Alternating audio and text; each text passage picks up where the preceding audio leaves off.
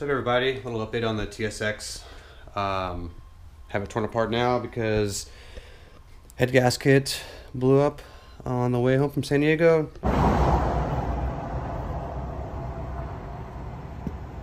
Fuck me. Too long ago, so tearing it down and just gonna replace everything that I can while I see it out. Um, and while it's up in the air, decided I'm going to replace the inner and outer tie rods because these are pretty old. Uh, I'll show you the old ones. I'm gonna have to remove my lower control arm and get the sway bar out of the way to get to get that inner out. So that's that's next on my list. Uh, so the head's pulled off. The one side of the outer rods is out. So these are the this is the old rod. See, it's pretty beat up. The boot, just gotta clean that up. And then this is the new tie rod we'll be putting in. The new inner. Uh, this is the cylinder head. So my buddy Jaren's gonna come over and we're gonna have uh, him drop it off at the machine shop. I'm gonna give it a quick little resurface, get this nice and flat, and we'll put it back together with a new new head gasket. Um, other than that, the car is pretty much the same. Uh, no updates to the suspension. I'm still running the Eibach R2 coilovers that were made for this car. Um, we've got the monoball compliance bearings in the front. Um, we've got the Eibach end links on the front sway bar here. I'm running the Hardrace front upper camber kit. And then towards the back, um, we've got the Truhart monoball uh, rear camber kit, and then obviously the, the the arms I make out of Race Prep Garage. These are the monoball arms that I do. So there's a bearing here, a bearing here, and then on this arm here, also a bearing, and also a bearing. So we got all that taken care of, and then this is the Eibach rear end link I have for the sway bar, along with the TL Type S rear sway bar. And again, another shot of the Eibach R2 coilovers. Uh, you can see the, see the reservoir line that's going to go up into the cabin and the trunk. But yeah, car's still looking kind of the same. It's got all the Euro R stuff. Um, those that don't know, it's I swapped the roof, so there's no more sunroof on this car. The interior is kind of a mess with some parts. I do have some more upgrades to do, like replacing uh, these strips here with the OEM Honda 3M strips. So that's on the dash there, along with the moldings for the quarter windows. So these aren't too bad, but you can see there's kind of some chipping up around, here. So I'm just going to replace these with factory ones since they're still available. I mean, makes the most sense.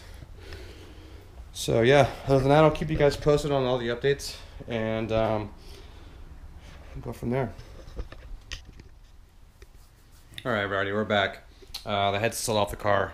We have the head back from the machine shop, which my friend Jaren was kind enough to take down to the shop for me and pick up. So, freshly resurfaced, kind of just getting the prep work here, installing the uh, VTEC solenoid back on, but I've got a new head gasket, new oil filter, kind of just cleaning up all the parts here. Um, gonna put the water neck back on, and then well, should be ready to bolt the head on here pretty soon. The car's on the ground now, um, but I did get the new inner and outer tie rods in, so um, once we get the head on, uh, we'll get the car back up in the air, get the wheels off, and then we'll take a look at those uh, shortly here. Just wanted to add one more thing. Most of this work has been mostly just cleanup, like just making sure that everything here, the mating surface is gonna be nice and clean. I still gotta clean up the oil pan here a little bit before I put the uh, the timing cover back on. But little things like, you know, the frame rail, the subframe, um, I like to keep the engine bay clean. That way, if something were to leak or something were to go wrong, I kind of know where to start looking. So, just another thought. Okay, we're back. We've got the head on. Sorry, I didn't video that. Uh, the head's torqued down though. Um, I'm putting in these new 06 TSX cams. Uh, I've already swapped over the RBC VTC gear on the intake side, so that's good to go. And um, yeah, I'm gonna get this thing back together. So we're gonna do some pre-lube on the cams just to kind of make sure these things are not gonna turn over dry when we get started here.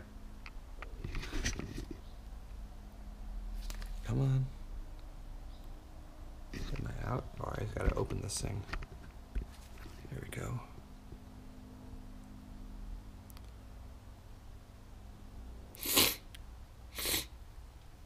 This little bead. You don't get too much. You don't want to get any in the uh, the threaded holes for the cam caps. Just enough to get these journals and cam lobes lubed up for the first startup. Let's get these cam caps torqued down.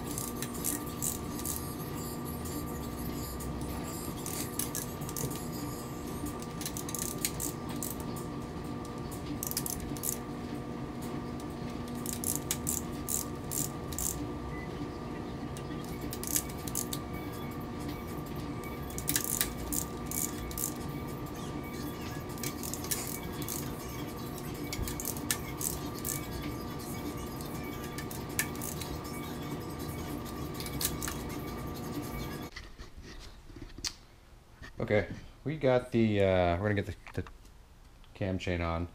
Um, I've got the motor to TDC and cams are locked. I'm using a drill bit to lock this exhaust cam over here. I've got a punch that was the right size and then this kind of helps me get, it, get them aligned up. Nice, so yeah, I'm gonna set the camera here and, uh, and get this chain lined up with the gold chinks, lined up with the cam timing marks on top and uh, the one on the crank uh, down here at the bottom. Okay, here we are. Moment of truth.